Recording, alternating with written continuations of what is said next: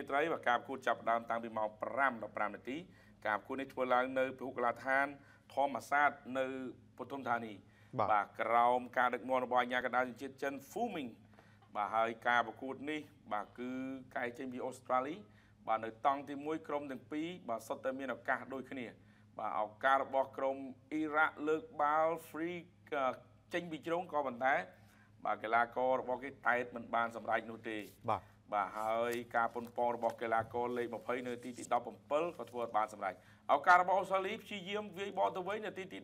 17កាត់ចូលមកក្នុងតែឯងទេបាទសម្រាប់កីឡាករអូស្ត្រាលីទាត់មកជើងមកបាល់នេះអត់ចំគោលដៅទេទស្សនារូបភាពឡើងវិញបាទកន្លែងដែលកីឡាករអូស្ត្រាលី Reno Piscopo សុទ្ធក៏ប៉ុន្តែធ្វើអត់បានសម្រេចទេបាទហើយយើងឃើញហើយសម្រាប់ក្រុមអូស្ត្រាលីនៅតែបង្កើន បាទការដាក់សម្ពាធបន្ថែមកន្លែងនេះឱកាសអូស្ត្រាលីទាត់បាល់ចូលទីតែអញ្ញាកណ្ដាលអត់ឲ្យទេ បាទបន្ទាប់ពីតូរេបាទក្រៅជំហរលបែងអញ្ញាកណ្ដាលអត់ឲ្យនៅទីទី18បាទនេះទស្សនារូបភាព បាទឆក់បានមកវិញហើយតូរេក៏ធ្វើបានអ่าសម្រេចបាទហើយការប្រគួតនេះក៏កាន់តែកដៅកគុកបន្ថែមទៀតនាទីដែលនៅសេសសល់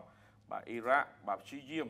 បាទវាយបកទៅវិញដូចគ្នាពេលដែលអូស្ត្រាលីវាយបកបញ្ជូនចេញឱកាសជាថ្មីតែកីឡាករ បាទ Thomas Clover លោតមកចេញចាប់បាល់បាន បាទពីឱកាសកីឡាករលេខ7បាទកីឡាករ Silbe ហើយចិត្តចប់បាទការប្រកួតតង់ទី1ទៅហើយអ៊ីរ៉ាក់មានឱកាសបន្ថែមទៀតតែមិនមានគ្រាប់បាល់នោះទេចប់តង់ទី1ក្រុមទាំងពីរស្មើគ្នា0ទល់នឹង0ចូលដល់តង់ទី2ប្រិមត្តទូទស្សនិកជនជាទីមេត្រី បាទចូលដល់តង់ទី2នេះគឺកាន់តែកដៅក៏គុកតែម្ដងសម្រាប់ក្រុមទាំងពីរបាទយើងឃើញថាលេងតង់ទី2បាន16នាទី បាទឱកាសរបស់ក្រុមអូស្ត្រាលីក៏ធ្វើបានសម្រេចដោយការសុទ្ធបាល់ free kick របស់កីឡាករ Reno Piscopo ម្ចាស់អាវលេខ11បាទសុទ្ធបាល់នេះឆ្ងាយមែនតើបាទនេះទស្សនារូបភាពគ្រាប់បាល់នាំមុខបាទរបស់ក្រុមអូស្ត្រាលី Reno Piscopo ជាអ្នកសុទ្ធបញ្ចូលទីបាទគ្រាប់ដំបងឲ្យក្រុមរបស់គេនាំមុខ